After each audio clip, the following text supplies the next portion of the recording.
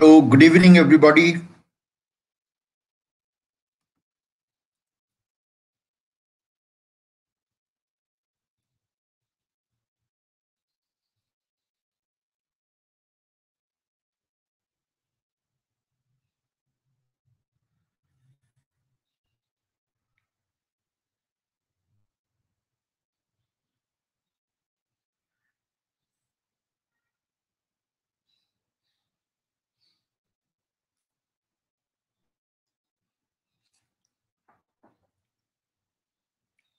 Hello, good evening.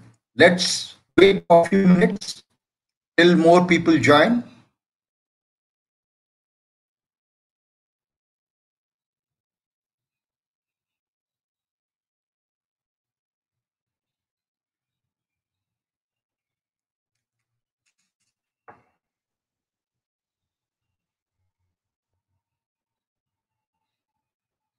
So, are there any questions from the morning session?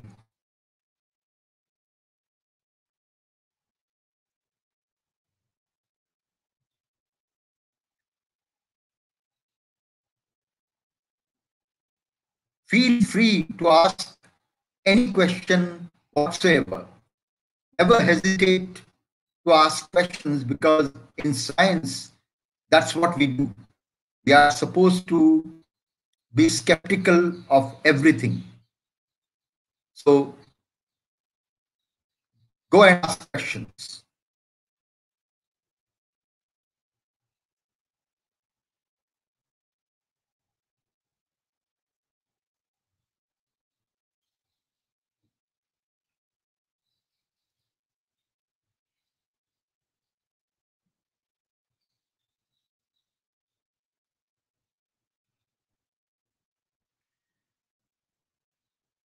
All right. If there are no questions from the morning session, then we can proceed. Right. So we were discussing the basic physics of stellar evolution, and I think I stopped at a qualitative discussion regarding why a star sufficiently of low mass, meaning stars of the type of sun, why it undergoes evolution in which it becomes a red giant. And the reason is that for a sun-like star, when the core becomes rich in either carbon, oxygen, or nitrogen, uh, no more fusion reaction can take place because carbon, oxygen, nitrogen, they have higher number of protons in the nucleus and therefore trying in order that such high Z nuclei they can overcome the nuclear barrier and come close together, one would need higher temperatures and uh, such high temperature cannot be attained for uh, stars whose masses are of the order of uh, sun's mass. And that is the reason why when the core becomes cold enough and shrinks, the shell surrounding the core, which is made out of hydrogen, that also shrinks. And when the density becomes high enough and the temperature becomes high enough, the hydrogen shell surrounding the core, it starts undergoing thermonuclear fusion, uh, in which again protons of the shell they fuse to become helium, and because the shell is above the core and the envelope surrounding the shell directly uh, gets heated up because of the thermonuclear fusion of the hydrogen shell, the envelope starts expanding as the envelope is further away from the core, and therefore the gravitational attraction that it, feel, that it feels due to the interior masses, that gravitational attractive force is not very strong enough. So the the energy released from the hydrogen shell burning, the heat makes the envelope of the star expand. And it expands, become very large, and becomes a red giant star. Let's go ahead further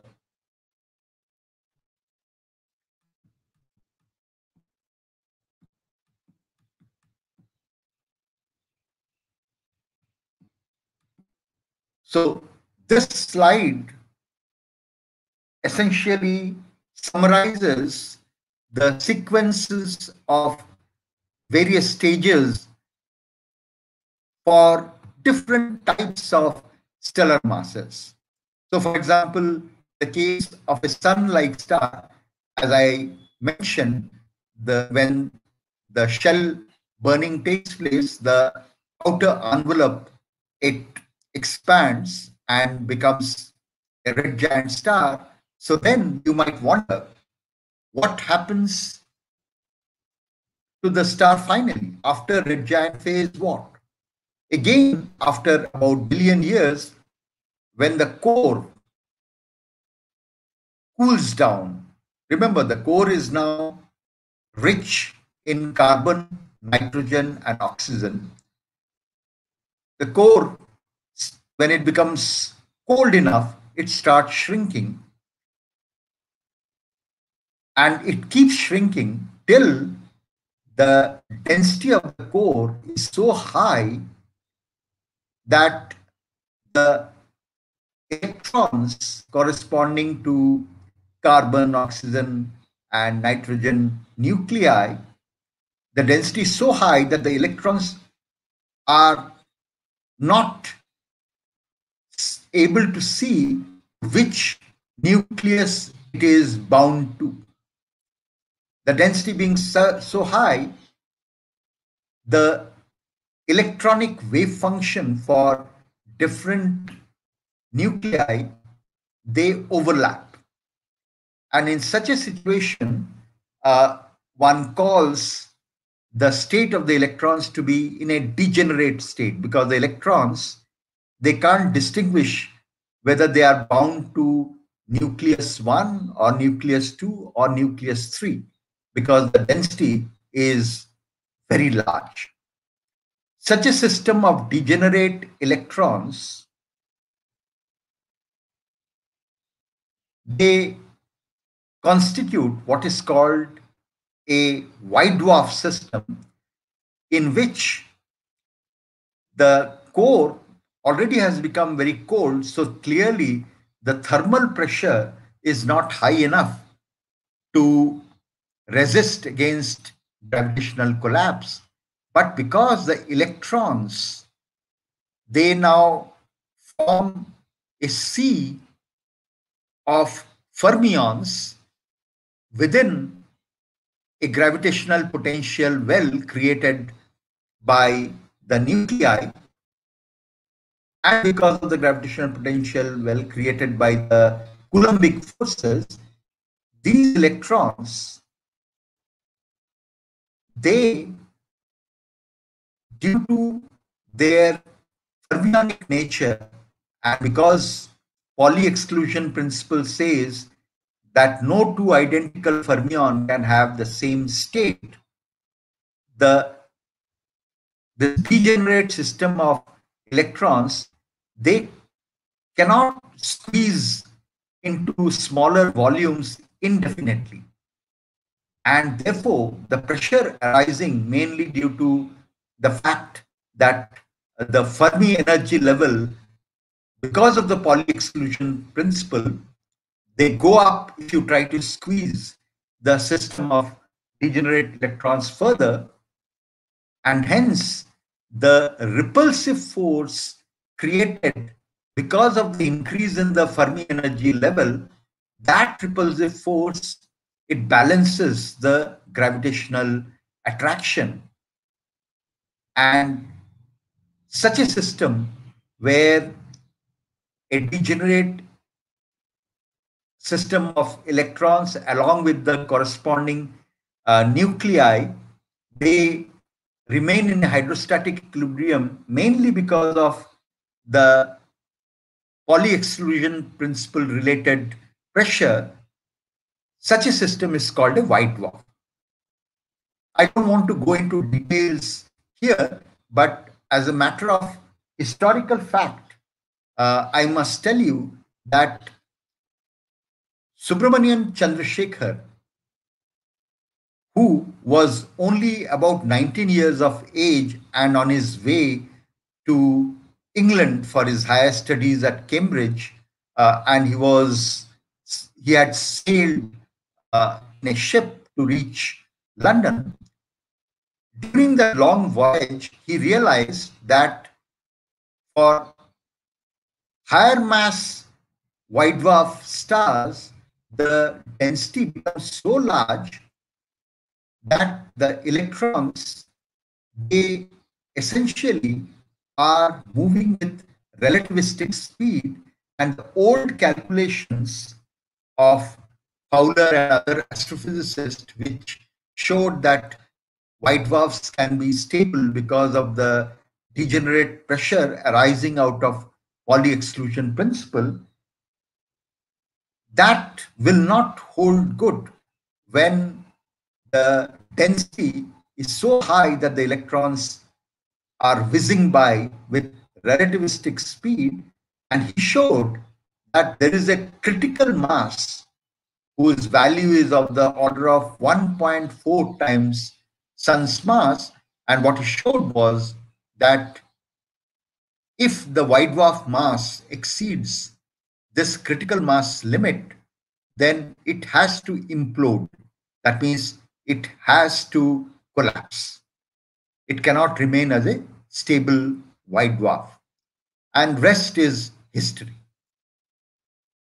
And eventually, around 1983, rather in 1983, uh, S. Chandrasekhar was awarded Nobel Prize. But one must also remember that Chandrasekhar, to his credit, has uh, several other predictions. Some of them have already been shown to be uh, correct from astronomical observations. Later on, uh, if I have time, I will expand on the other contributions of Subramanian Chandrasekhar, like dynamical friction, the so-called uh, Chandrasekhar Subramanian Friedman Schutz instability in rapidly rotating objects, and uh, also the so-called uh, uh instabilities in plasma. There are many things which he predicted, and several of them have been uh, corroborated. Right, but let's go into the evolution for other uh, systems. For low mass stars, as you can uh, see in the upper panel, for stars that are uh, having mass less than sun's mass, let's say one tenth of the sun's mass, uh, such a low mass star, as it undergoes stellar evolution, it finally evolves into a brown dwarf, meaning uh, a smaller variety of white dwarf, and it'll be not so hot as to uh, shine at higher frequencies, unlike white dwarfs, and that's the reason why they have been christened as brown dwarfs. More dramatic consequences are those for uh, high mass stars, that is, stars whose masses are more than 10 times sun's mass.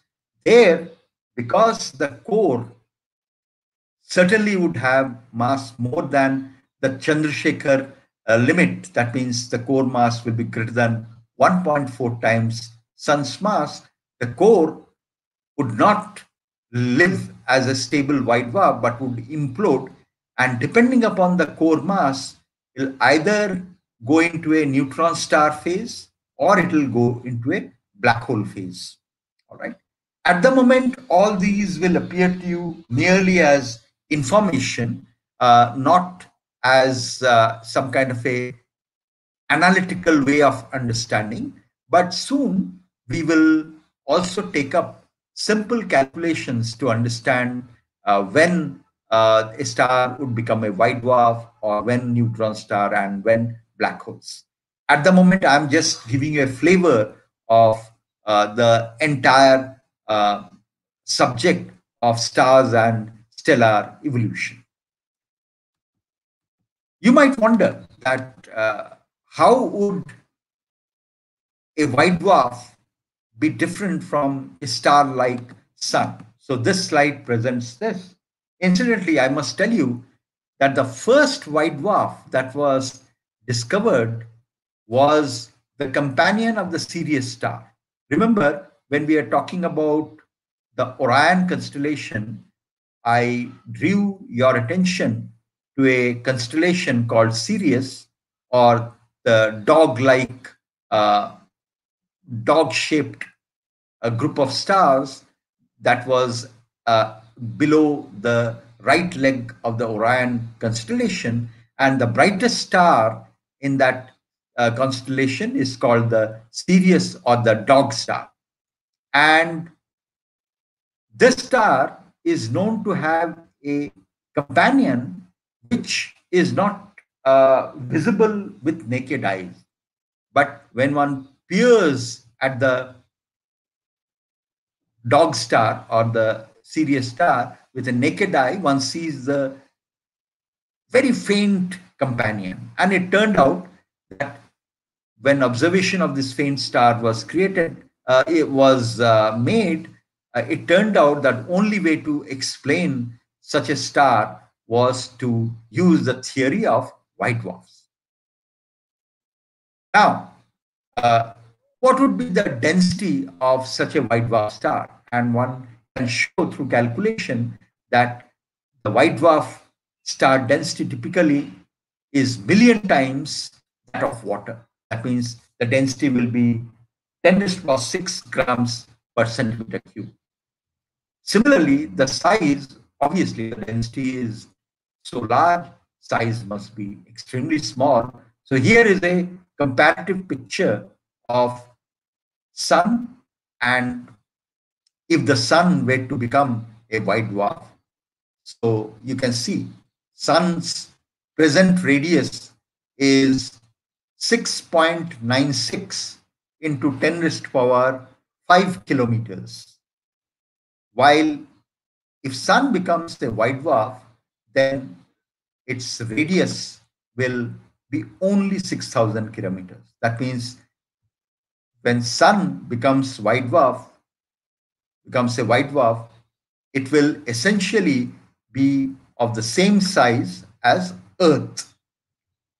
Although mass will be the usual 2 into 10 to the power 33 gram, but the size of white dwarf sun would be uh, essentially similar to Earth's size.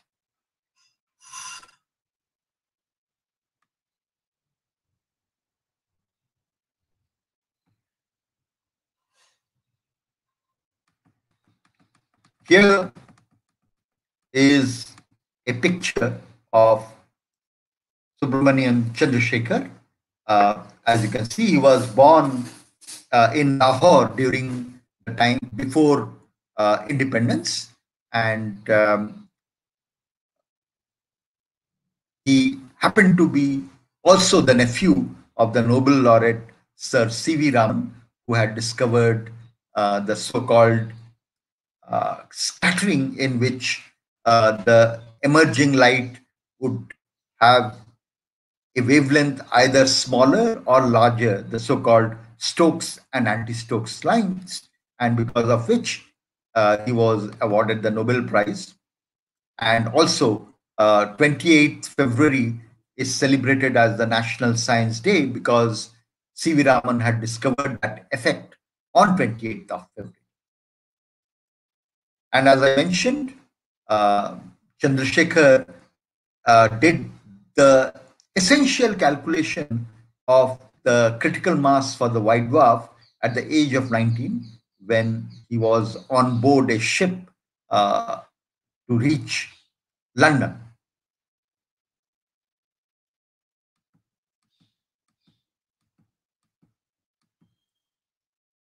Now, again, uh, I, I only want to draw a fact that Chandrasekhar's critical mass, that formula is given by this expression.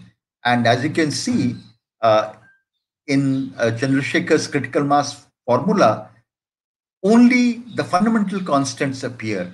The h bar related to Planck's constant, speed of light, capital G corresponding to Newtonian uh, gravitational constant, and mass of the um, hydrogen, which is essentially proton mass. There are factors like mu e, which is the mean, mean molecular weight, but otherwise the expressions are made out of fundamental constants. All right.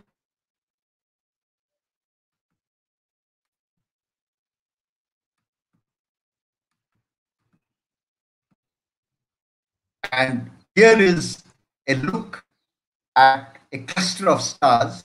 There are many such clusters of stars uh, orbiting in highly eccentric orbit around the nucleus of our galaxy, Milky Way galaxy. They are called globular clusters. And uh, if one expands this small region into this bigger uh, panel, then the circled dots are the actual observed white dwarfs. The circles are, of course, uh, made to pinpoint the tiny dots. These tiny dots are the white dwarfs that were actually observed in the region of a globular cluster, which has been named as M4, meaning fourth object in the Messier catalog.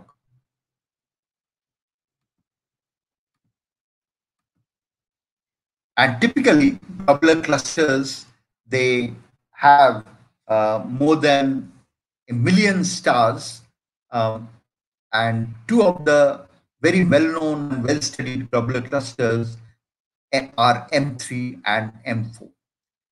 And by observing many, many uh, such white dwarfs and figuring out that there is not a single white dwarf whose mass is greater than the Chandrasekhar limit, it was observationally corroborated that what Chandrasekhar had deduced using his uh, relativistic uh, analysis of degenerate electron gas um, was correct. And that's the reason that he was essentially awarded the Nobel Prize. Right, so I talked already about clusters of star and such clusters which uh, contain more than about million stars uh, are called globular clusters but you might wonder that are there objects that have larger number of stars which are gravitationally bound to each other? The answer is yes, and they are called galaxies. So here is a picture of a spiral galaxy. As you can see, uh, that via telescope, one has captured this particular galaxy and look at the spectacular spiral arms of this galaxy.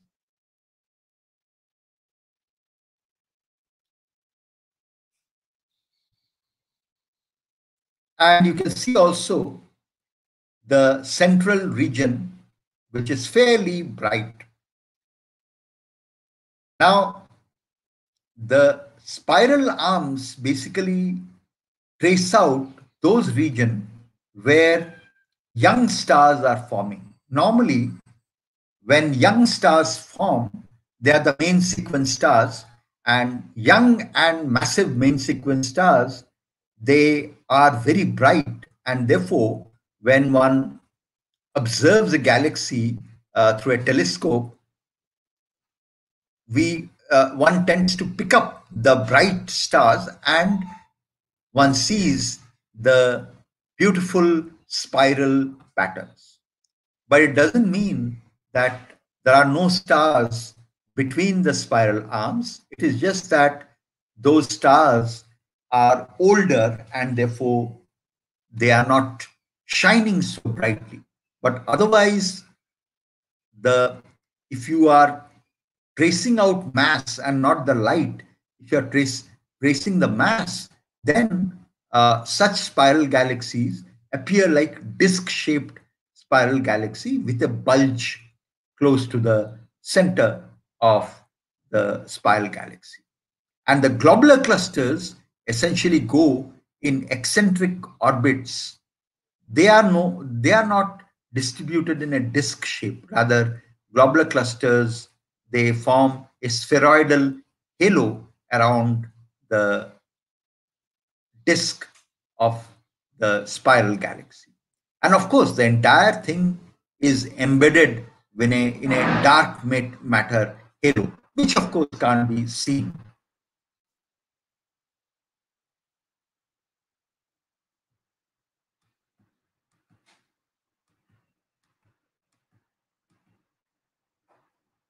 Here is another spiral galaxy, but this spiral galaxy has more number of arms than the previous spiral galaxy.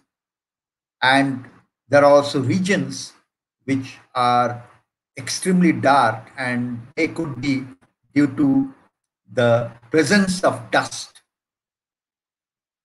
What the dust uh, uh, does is that it absorbs the visible part of the spectrum and re-radiate in the infrared domain. So in the optical, if one is using an optical telescope, one would see the dark uh, part where the dust is absorbing the optical radiation and re-radiating them in the infrared wavelength.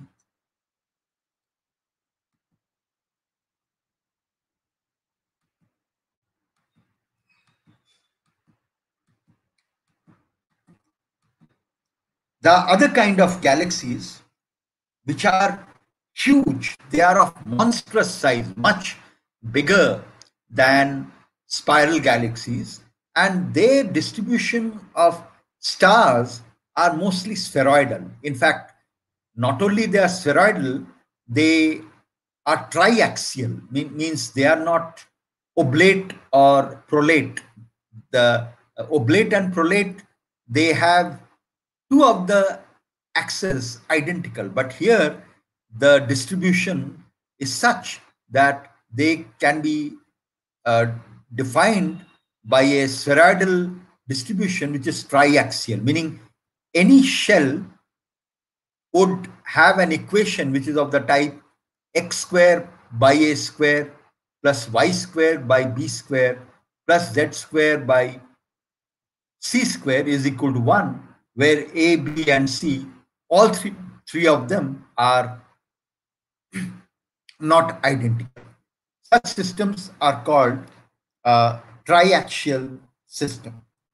Now, this particular elliptical galaxy is the M87 galaxy, and you can see a tiny jet coming out.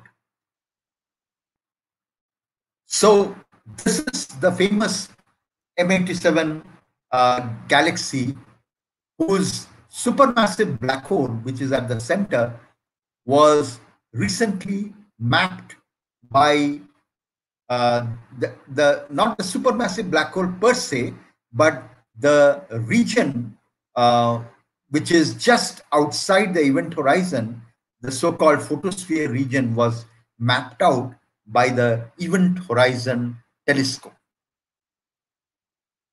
Here, let me also point out that so far, all the prominent galaxies that astronomers have studied, they all the galaxies seem to have a supermassive black hole sitting at the center. Uh, by supermassive black hole, I mean those black holes whose mass is more than million times sun's mass. Such black holes are called supermassive black holes.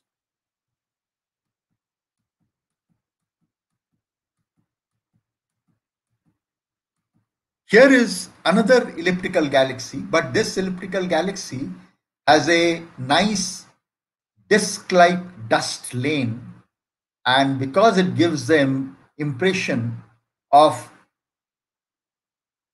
a type of Mexican hat called sombrero that's the reason why this elliptical galaxy is called a sombrero galaxy.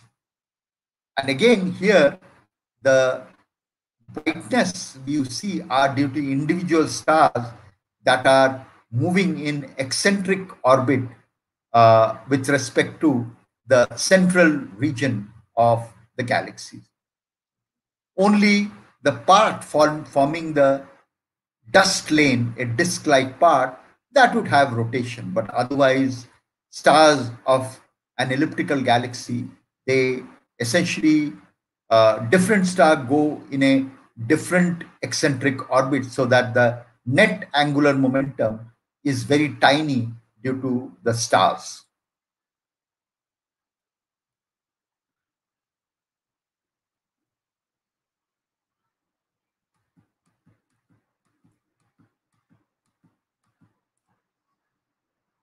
By now, you must have seen that galaxies come in different size and shape. So uh, this is the so-called Hubble classification of galaxies, which uh, essentially says that there are, as far as galaxies are concerned, roughly, but by now we know there are more varieties of galaxies, but roughly when Hubble did the study, he could figure out that there are spiral galaxies of the type SA, SB, SC. By this classification, what uh, Hubble meant was SC galaxies, the spiral arms are not so tightly bound, they are much more open. As we go to SP, SB type spiral galaxy, the spiral arms are somewhat tightly bound, and for SA, they are even more tightly bound. Similarly, there are barred spiral galaxies where you can see that apart from spiral arms, the central region has a bar-like shape. And again, you can see that for SBC type, there is a bar, of course, but the arms are much more um, open. They are not so closely uh, tied together. While as you progress towards uh, barred galaxy of the type A, the spiral arms are most, more uh, closely spaced. Similarly, in the case of elliptical galaxies, there are uh, uh, elliptical galaxies which are more spherical in nature. Hubble called it called such galaxies E0, and progressively they become uh, flattened out as you go to uh, E7. Then there are also S0 type um, galaxies where the uh, size in one direction is longer. In the case of E0, the other side, uh, length was longer. Uh, not, but remember that I've already mentioned that in the case of elliptical galaxies, we know today that the three axes are different. So we cannot really think of this as a prolate and this as an oblate and so on. And I must here mention that uh, such a picture, the Hubble classification, sometimes gives the impression that they are all linked. Uh, they are not. It is not that as though uh, elliptical galaxies evolve into spiral and another branch evolve into uh, barred galaxies. That is not at all correct. In fact, what is known today, uh, there is a large consensus about it today, is that elliptical galaxies are actually formed by the uh, gravitational merging of uh, two or more spiral galaxies.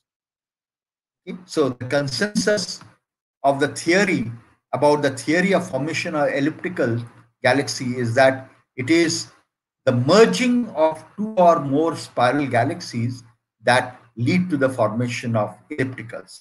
So, uh, so this Hubble classification tends to be a little bit of uh, misleading nature. But once we know what we are talking about, uh, then we understand. It just shows that there are varieties of galaxies in nature. It, it, it, there is this picture doesn't uh, talk about any evolution from one to another. Similarly, there are also irregular galaxies, galaxies that are highly disrupted. For example, our Milky Way galaxy has two neighbors, the so-called small Magellanic Cloud and large Magellanic Cloud.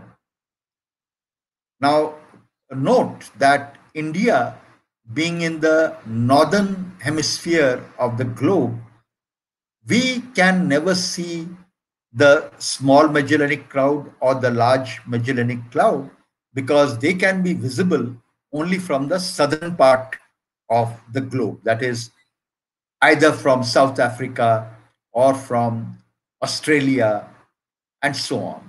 And the reason why they are called a small Magellanic Cloud or a large Magellanic Cloud is because Magellan, who essentially covered uh, in his long travels all around globe, uh, he was the first to observe uh, these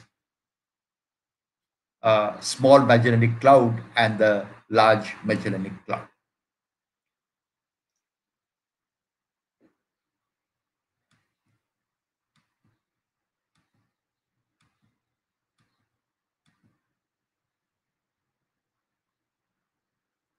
Here is a comparison of sizes of M87, our Milky Way galaxy, Andromeda galaxy, which is called M31, and similarly the Whirlpool galaxy, which roughly presents on to um, the terrestrial observers. Of course, these are essentially the artist's conception of these galaxies. But you can see how big is the elliptical galaxy M87 compared to Milky Way uh, or Andromeda galaxy. Incidentally, uh, there is now a consensus coming up that uh, it may not be that uh, Milky Way galaxy is small compared to Andromeda galaxy. They might be actually in uh, of comparable sizes. So we will wait for further observations. So I must therefore reiterate that these are artist impression of Milky Way, Milky Way galaxy and Andromeda galaxy.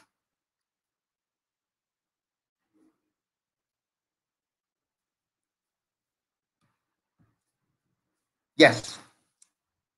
And because of powerful telescopes like Hubble Space Telescope, which is a telescope on board uh, satellite in space, and therefore its uh, uh, ability to see distant objects is far greater than terrestrial um, based telescopes. And Hubble has detected many interacting galaxies. You can see that this spiral galaxy is interacting with another galaxy. Here, two galaxies have interacted, and because of each other's tidal forces, the galaxies have got essentially torn apart. In fact, the small Magellanic Cloud and large Magellanic Cloud, they have been disturbed by the tidal forces of our own Milky Way galaxy. And here you can see uh, two spiral galaxies. They were spiral galaxies, but because of the close encounter and the resulting tidal forces, they the matter is getting stretched in this direction and also in the opposite direction. And eventually, uh, because of the kinetic energy being uh, shared with the stars, they will eventually merge. And when they settle down over millions of billions of years, they will turn into elliptical galaxy. So, in other words, the purpose of my showing this panel of interacting uh, galaxies is that uh, indeed the, the theory that elliptical galaxies have been created by merger of uh, two or more spiral galaxies uh, is quite a plausible theory and uh, the evidences are uh, essentially pointing towards uh, the corroboration of elliptical galaxies being formed out of the mergers of spiral galaxies. So here are more such uh, merging spiral galaxies.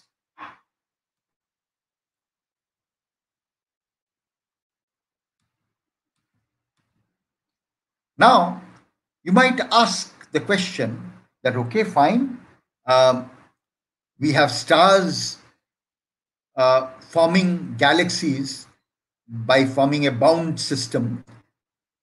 Are there galaxies which form a bound system? The answer is yes.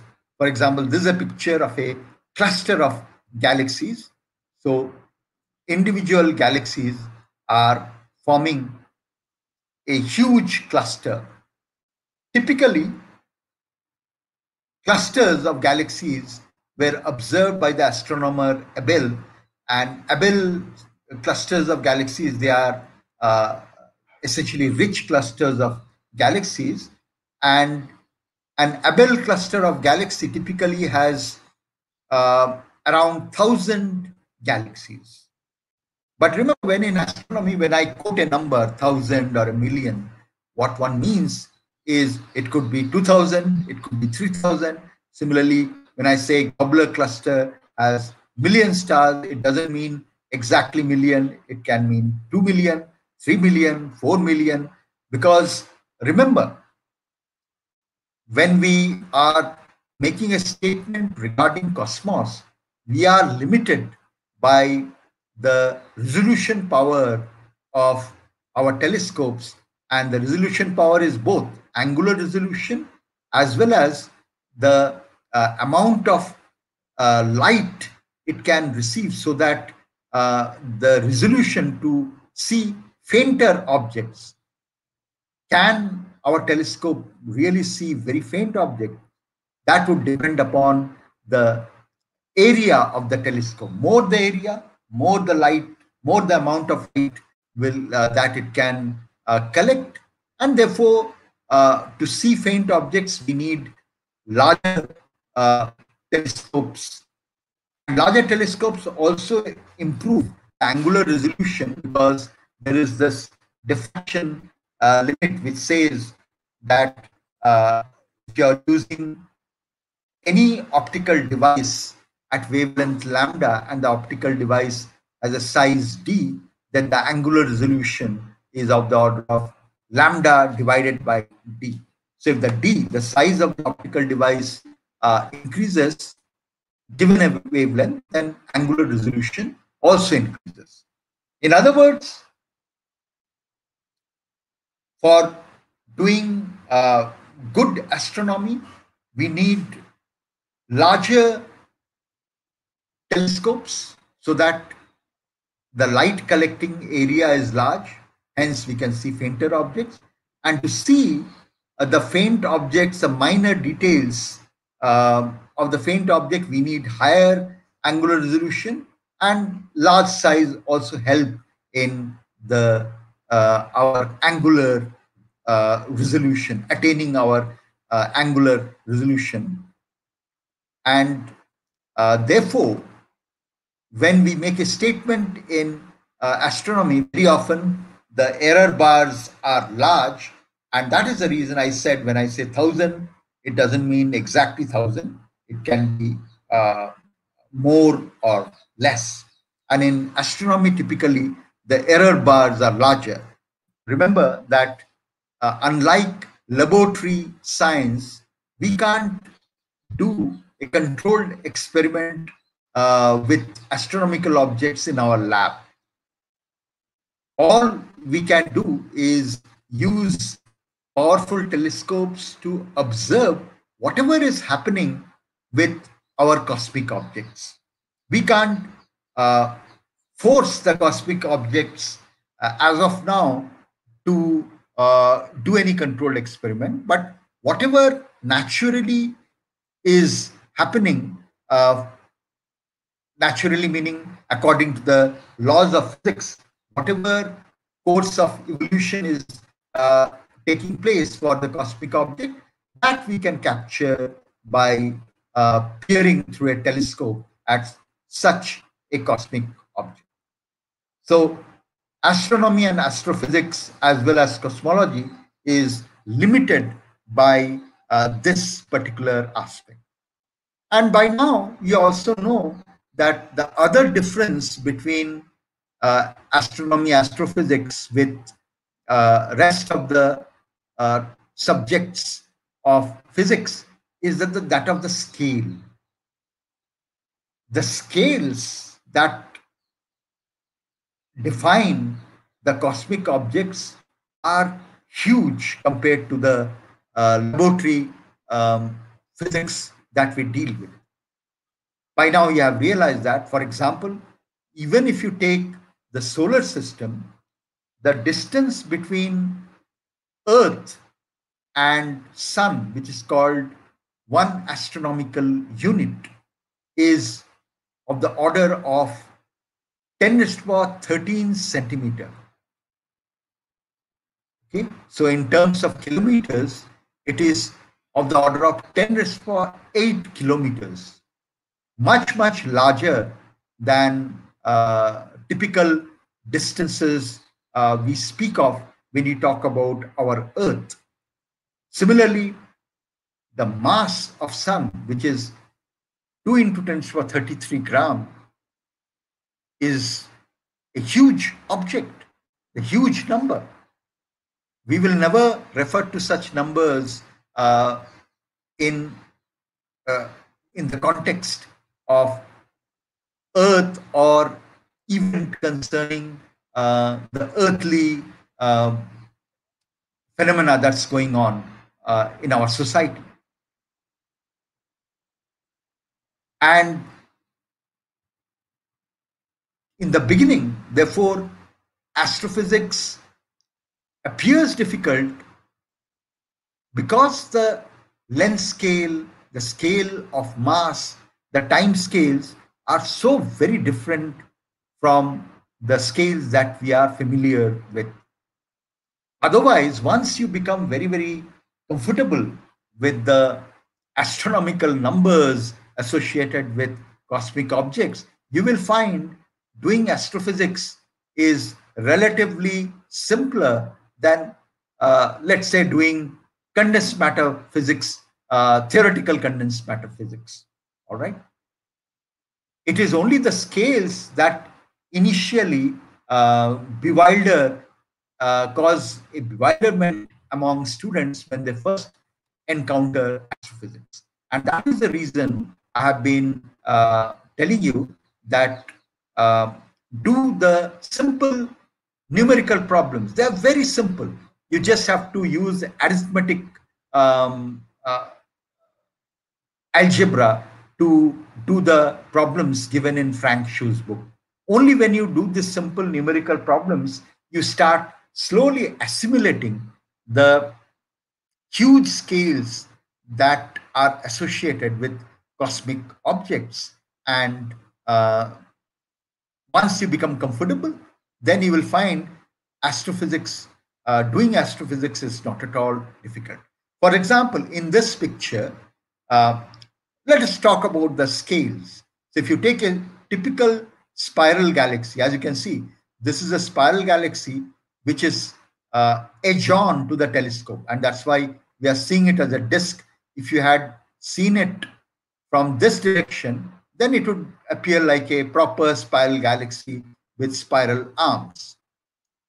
And this disk, if you look at the size of the disk, this length will be of the order of, you know, uh, 15 to 30 kiloparsec. As I told you, one parsec is 3.26 light years. A kiloparsec is 1000 parsec.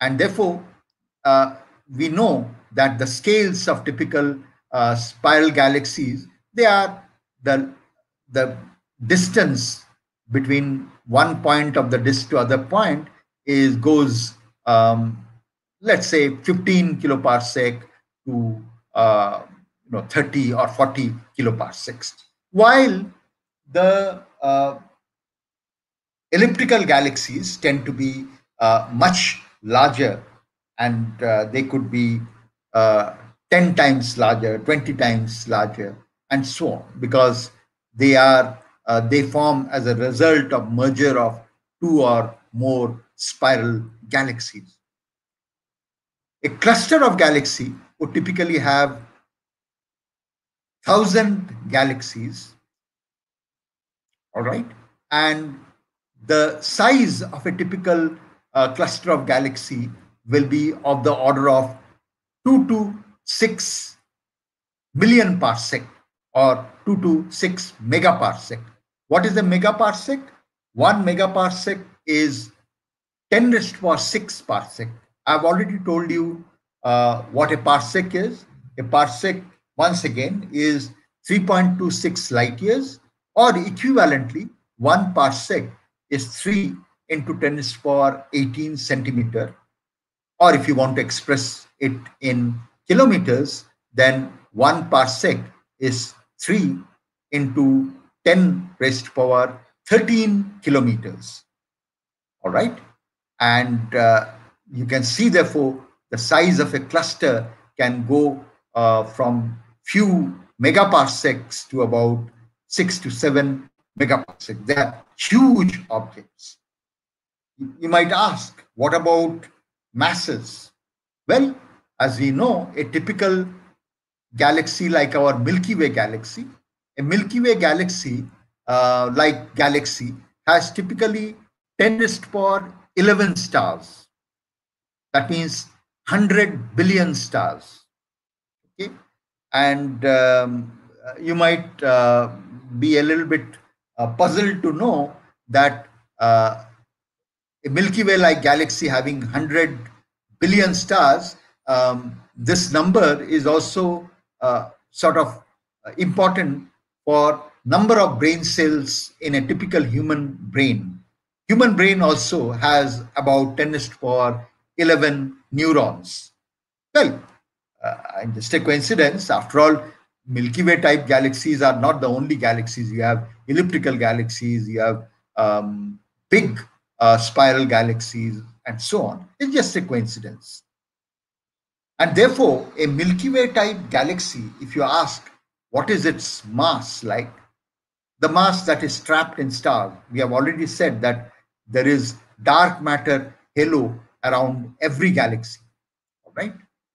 And uh, hence, if you look at the mass of a Milky Way type galaxy, which is trapped in suns, that will be about 10 to the power 33 multiplied by 10 to the power 11, that means 10 to the power 44 grams.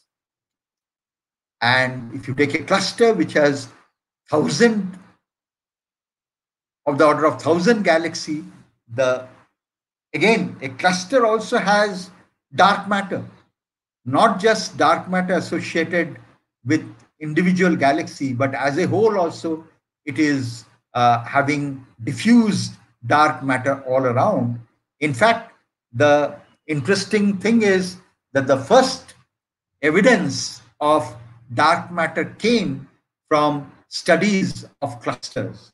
That is a separate story. We will talk about it when I talk about virial theorem and uh, how uh, the um, uh, dark matter evidence came by looking at clusters of galaxies. That is uh, a topic which will be covered in a later lecture. So, as you can see, because a typical uh, Milky Way type galaxy would have mass in stars of the order of 10 to the 44 grams. Therefore, baryonic mass, which is associated with a cluster of galaxy, will be more than 10 to the power 47 grams. Okay? That means more than 10 to the power 44 kilograms. You can see the humongous numbers we are dealing with. Okay. Time scales are also very large. Now remember that I have so far not spoken about velocities. so let me here uh, uh, pause for a while and um, tell you about velocities. You see, in our solar system, Earth is going around Sun. If you ask, what is the velocity of Earth with respect to Sun, you will find the answer is close to 20 kilometers per second. That's a large number, 20 kilometers per second. Remember that typically uh, cars move at uh, velocity 60 miles per hour or let's say uh, 75 kilometers per hour. But that's small compared to earth's speed around sun which is about 20 kilometers per second. The solar system itself is going around the uh, center of our Milky Way galaxy, which contains a supermassive black hole, of course, and our solar system is going around the supermassive black hole. And with respect to the supermassive black hole, our solar system is moving with a speed of the order of 220 kilometers per second. It's a huge number, 220 kilometers per second. Similarly, in a rich cluster like Coma cluster of a galaxy, the galaxies are also moving randomly inside the cluster. And what is the typical dispersion velocity of galaxies in a cluster? It the, the dispersion velocity goes from 1000 kilometer per second to about 1500 kilometer per second. Note the numbers 1000 kilometer per second. It's a huge number. Compare it with the speed of light. Speed of light is 3 into 10 to the power 5 kilometers per second. All right. While although the galaxies in a cluster, they are uh, moving certainly uh, with non-relativistic speeds, but they are huge, 1500 kilometers per second. Of course, uh, velocities have to be measured with respect to a frame of reference. When I say 1500 kilometers per second, I mean with respect to the center of the clusters of galaxy. Okay. Now you might ask, well, we see that stars are grouped in globular clusters. Globular clusters are uh, moving in bigger uh, conglomeration of stars called galaxies. Galaxies themselves can form bound systems called clusters of galaxies. Are there bigger structure? The answer is yes. So if you take the APM Galaxy Survey, which was uh, compiled by Maddox in late 80s, you can see each bright spot okay is either a galaxy or a cluster of galaxy. And here you can see shells prominent shells filaments and shells. So the shells and filaments they are termed as superclusters. Of course Unlike clusters of galaxies where galaxies are indeed gravitationally bound system, these superclusters are uh, not strongly bound uh, gravitationally. In some cases, the supercluster may not be bound at all. They are just chance, uh, uh their, their position is chance correlated, and that, that's the reason why they appear as filaments. here I must mention that recently a supercluster was uh, sort of uh, studied and given the name uh, by the IUCAA astronomers as well as Kerala University professor who was part of the program. And uh, you can uh, look at uh, the papers concerning Saraswati supercluster. And uh, the superclusters, they are uh, huge structures. And the many of the dynamics associated with superclusters are still being actively researched. And it is likely there are many surprises. For example there are large voids. Okay the dark region. There are as you can see there is a paucity of sources. Whether the dark voids are uh, yes whether the dark voids have absolutely no matter we can't be certain they can be dark matter in this uh, region but nevertheless we see voids and filaments all right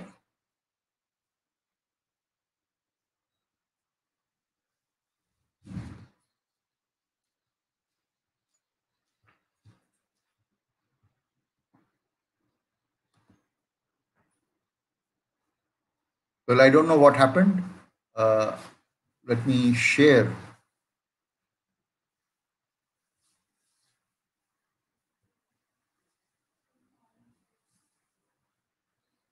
Just one moment. The slide seemed to have uh, gone off. I'm just trying to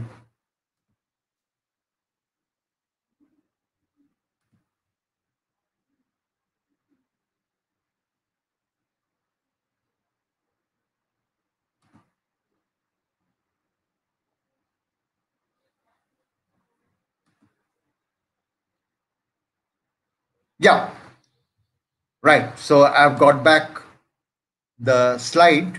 Uh, right. So uh, there are a lot of uh, work which are going on uh, on uh, studies of superclusters and in future they may reveal a lot of uh, new things and i will just stop today's session by just telling you how these structures have come about. Uh, of course, this is only the theoretical aspect. It is uh, believed that the so-called dark matter, because they don't feel the radiation pressure and therefore uh, they can form seeds and over which the dark matter further can come together and form gigantic gravitational potential well in which baryonic matter can fall in seeing the attractive gravitational potential well and form bigger structures like galaxies. Uh, anyway, we will talk about it uh, later, but um, I think uh, already we have crossed the time limit. So now I would like to uh, answer questions instead of uh, uh, lecturing about further contents. Yes, so let me um, go uh, to the questions.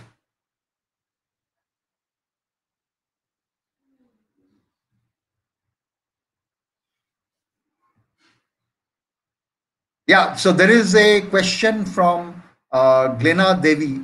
Uh, what type of questions will be asked in the exam? Uh, as uh, we know that uh, we normally test the understanding and analytical thinking ability of students, we will be uh, giving simple numericals in this course. And that's precisely the reason I'm saying that you must do the numerical problems given in Frank Shu's book.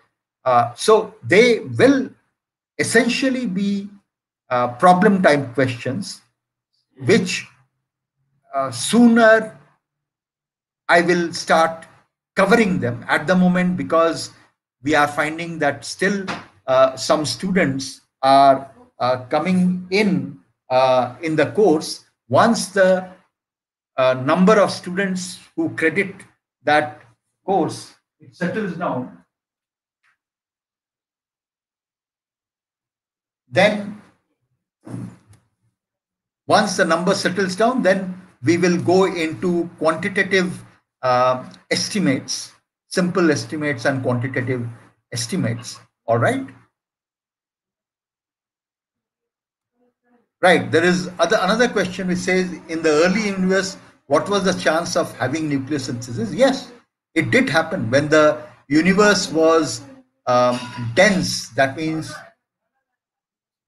when the universe was dense and temperature was higher, higher than uh, about 200 millielectron volt, there were nuclear synthesis going on. In fact, Big Bang nuclear synthesis is a uh, research topic by itself, and early pioneers of Big Bang nuclear synthesis were Gamow, George Gamow, and his collaborators. And because of this work only, they could predict the existence of cosmic microwave background radiation and uh, the light element abundance like deuterium, uh, lithium, and so on. So, uh, indeed, early universe when the temperature was high and uh, density was high, uh, nucleosynthesis did take place.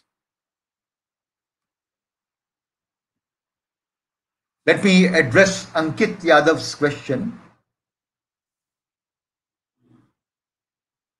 Well, the red giant star, it has already, the envelope slowly uh, moves out because the white dwarf's radiation it slowly uh, exerts pressure on the envelope of the red giant star and it forms a nebulous structure all around the white dwarf. And due to some strange reason this nebula around the white dwarf uh, is called a planetary nebula it has nothing to do with planet it just because of the radiation from the white dwarf uh, the envelope gets, gets blown out and forms a diffuse shell.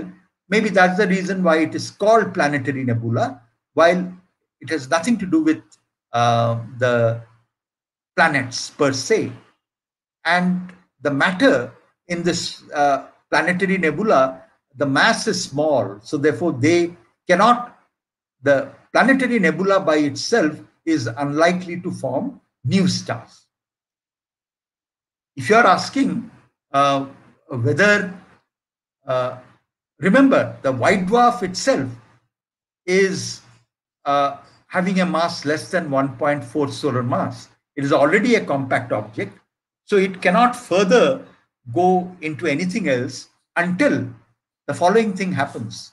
If you have a white dwarf with, let's say, one solar mass, and due to some reason, more and more mass keeps falling onto this white dwarf because the white dwarf maybe is having a companion star. So both the objects are going around the common center of mass. And if the companion star loses matter to the white dwarf, so that white dwarf's mass keeps on increasing. And when from one solar mass, its mass becomes 1.4 solar mass, boom, it just implodes because it exceeds the critical uh, mass and it explodes like a supernova. I have not yet talked about supernova, um, uh, talked about supernova and supernovae. Uh, and such a supernova is called type 1A supernova. If we have time in the course, we'll talk about it. Now let me come to Mayank's question.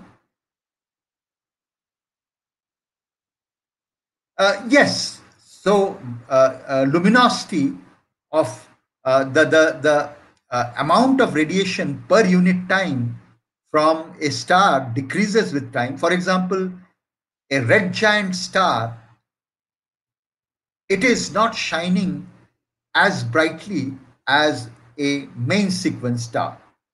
After all, the source of energy is still the thermonuclear reaction going on at the core, uh, in the core of the star. So therefore, uh, as the star evolves, the luminosity does change. So old stars typically are fainter than young stars. Let me take Shruti's question. Yeah, so that's a good question. Why are the, uh, if you don't take into account the elliptical galaxies, why are the galaxies which are spiral in shape, why are the disk galaxies spiral in shape? First of all, the shape, disk-like shape tells us that the structure that gave rise to disk-like galaxies had a lot of angular momentum. That's the reason why, why when the gaseous matter fell into the deep gravitational potential well uh, created by the dark matter, this gaseous matter, due to either tidal torquing of neighboring uh, uh, dark matter halo or whatever is causing the angular momentum, the gaseous matter had angular momentum and therefore they could not, when they were falling into the deep gravitational potential well due to the dark matter, they could not just collapse into a spherical object, but they formed a disk-like structure because rotation means that there is centrifugal forces which will prohibit matter to radially fall in. And then once you have a disk-like structure, uh, astrophysicists like Lin and Shu, Xu, the same Shu, Frank Shu, Lin and Shu developed a theory uh, of density wave. And uh, the density wave theory tells us that because of this differential rotation of the gas, a high density wave in the form of a spiral pattern moves outwards from the central region. And the high density wave because it is propagating and wherever the density is high, the Jeans instability makes sure that in such high dense region, new stars are born due to Jeans instability. Of course, the wave is not static, it is propagating. So wherever the density becomes higher, new stars will form. And because the density wave has a spiral pattern, that's the reason why one sees a spiral arm because spiral arms are the region where new and bright stars are forming. You can take a look at Frank Shu's book, The Physical Universe, to get a, a simple idea of the density wave theory. But the actual theory is very complicated. I myself have not studied the actual uh, density wave theory uh, in its full mathematical glory. Let me come to um, Kumar's question.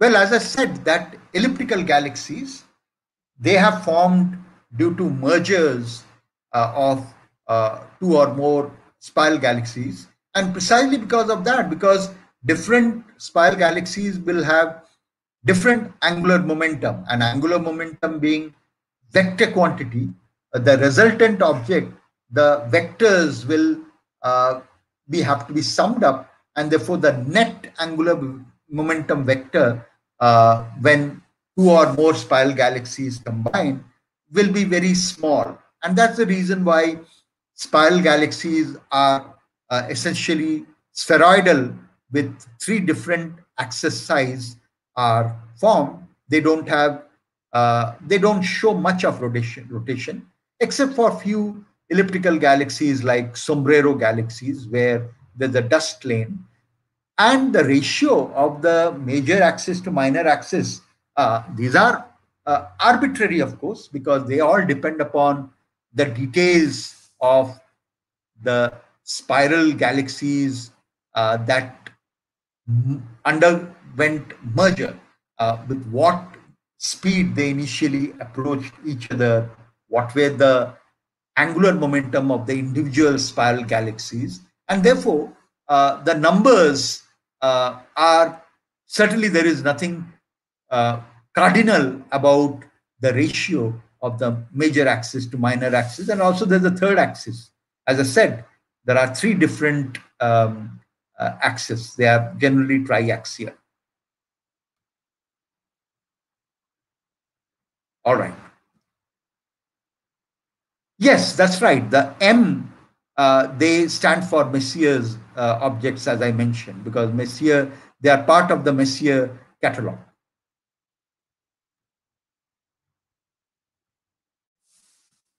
Yes. Correct. You're right, Priyambada.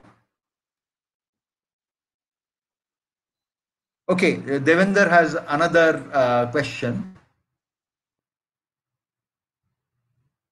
Well, as I said, that uh, that is not true uh, because Hubble, uh, when he saw a E0 type galaxy, so for example, if I uh, uh, take you back to the Hubble classification, yeah.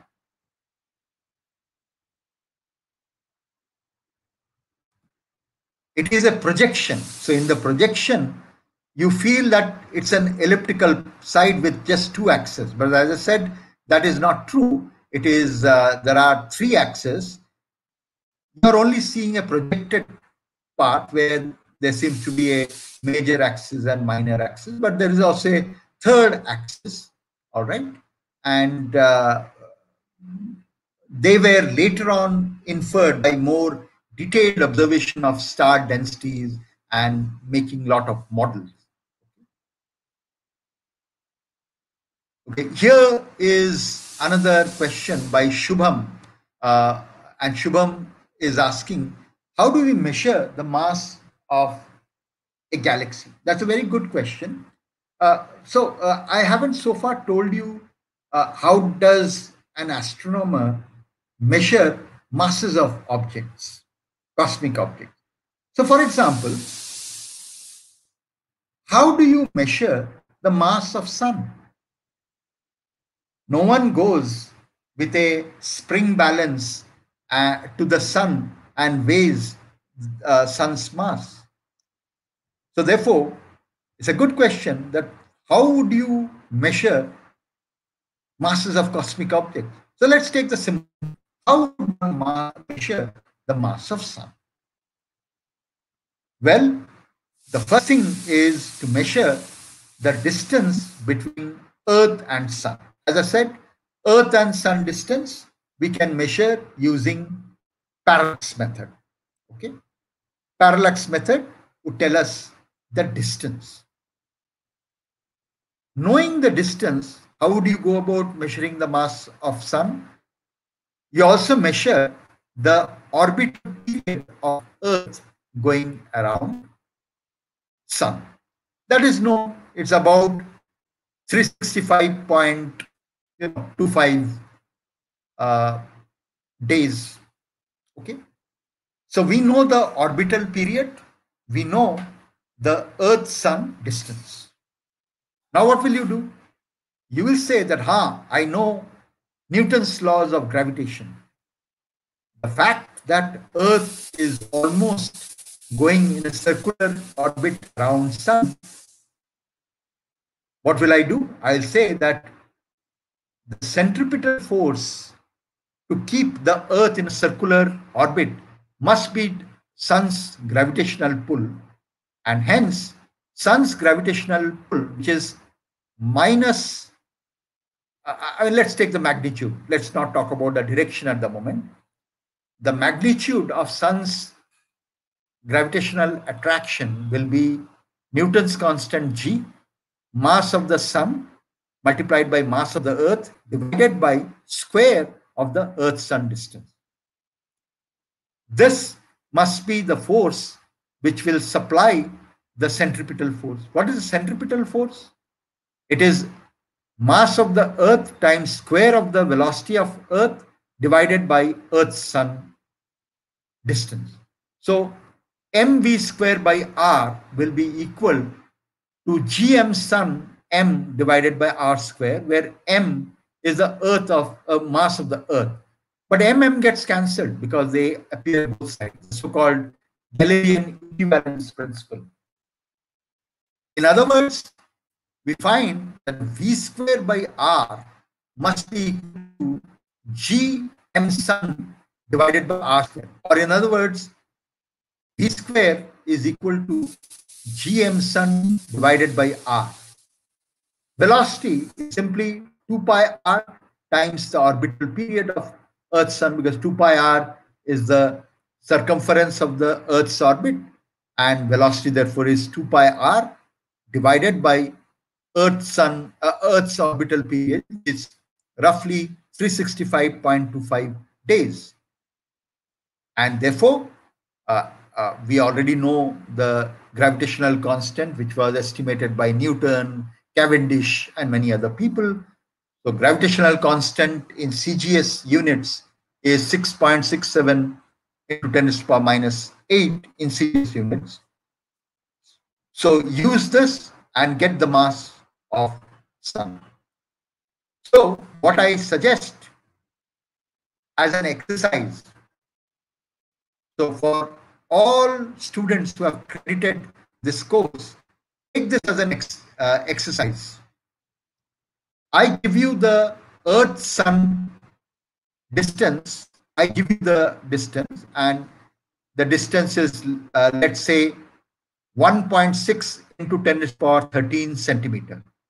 Take this number, and I also give you the orbital period of Earth around uh, the sun, which is about 365.25 uh, days,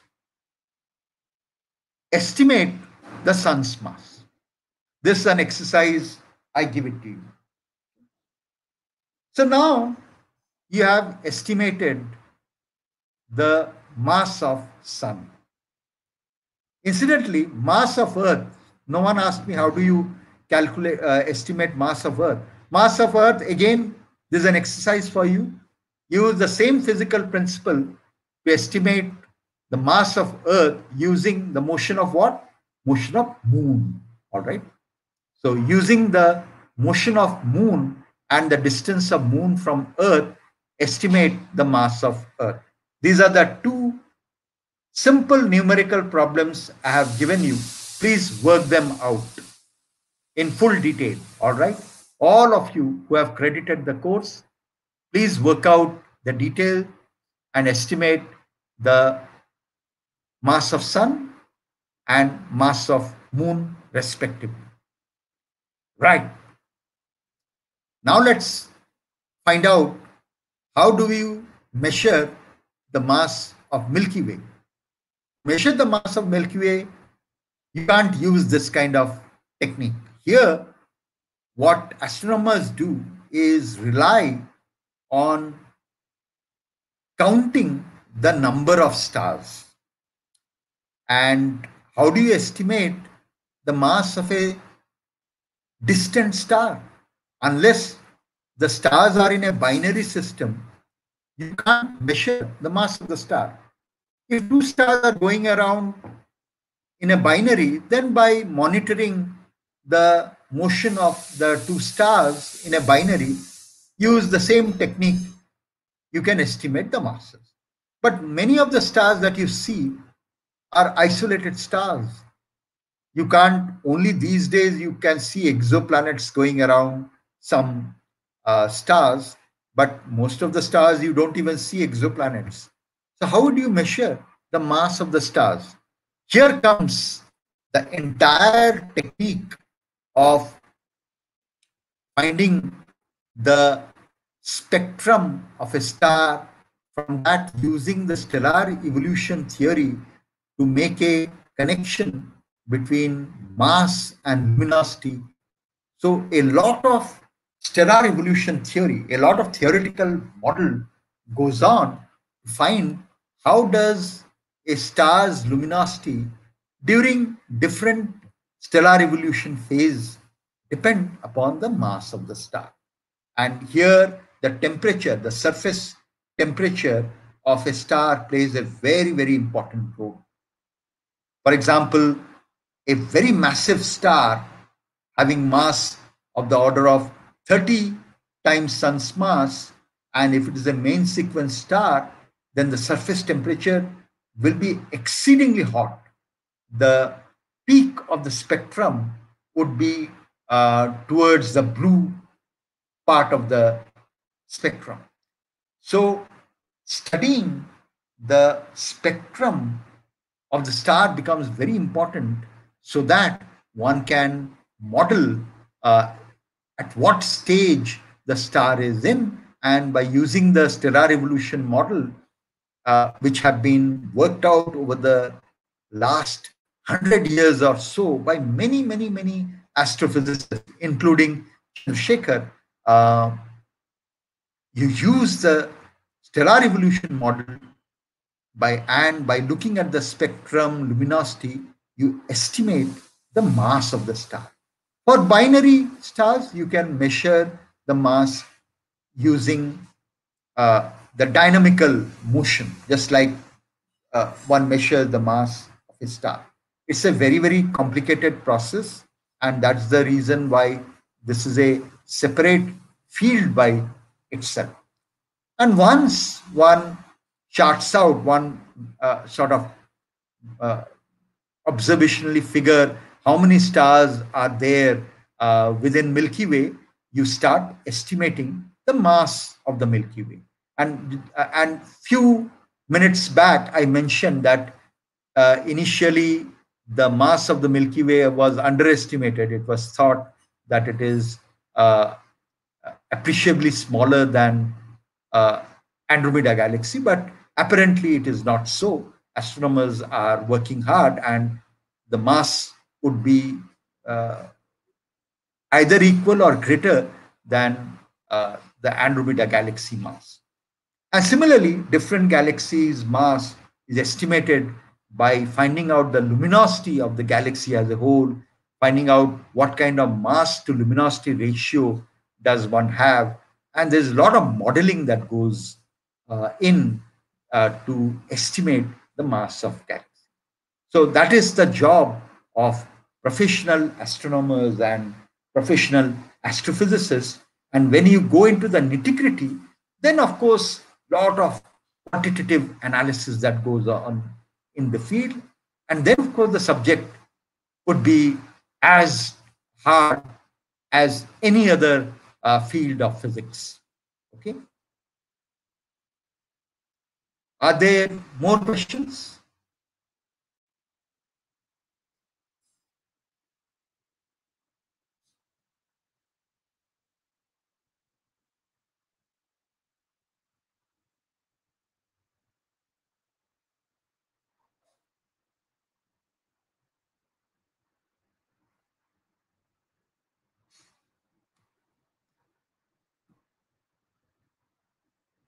If there are no more questions, uh,